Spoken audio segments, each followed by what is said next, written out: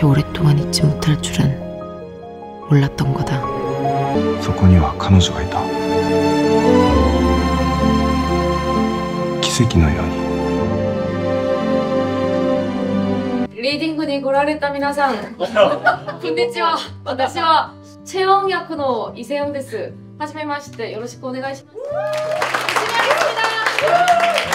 사랑해 온 것들 증거 약간의 스카이시입니다.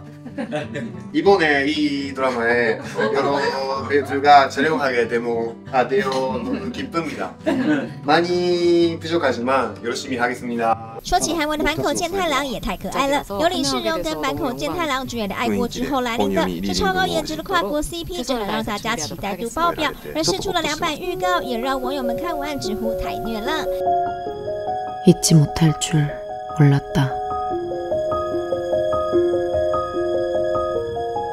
실은 잊지 못할 줄 알았지만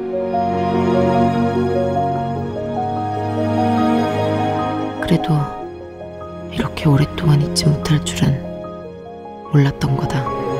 第一版预告先以女主角的视角回忆两人甜蜜的过去，另一版则是用男主角的视角描述这段幸福的缘分。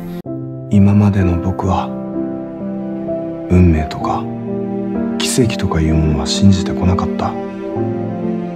それはただ偶然という言葉を飾るためのものだと思ってた。